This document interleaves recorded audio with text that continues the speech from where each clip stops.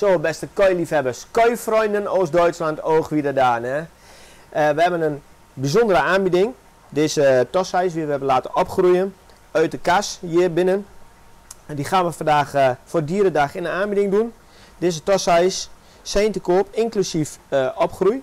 Kies er eentje uit, mail het ons, maak een screenshotje welke je wil hebben. Prijs van de vissen staan zo dadelijk per vis netjes bijgeschreven. En ja, wie weet kunnen we hem voor je verder groot uh, trekken. Er zitten goshikis in. Er zit een mooie kwaku in. Duits Showa. En natuurlijk Snoazagi. Nou, dit is het, uh, het nieuwe voertje. En uh, is een kleine korrel. Mooie kleine handige korrel.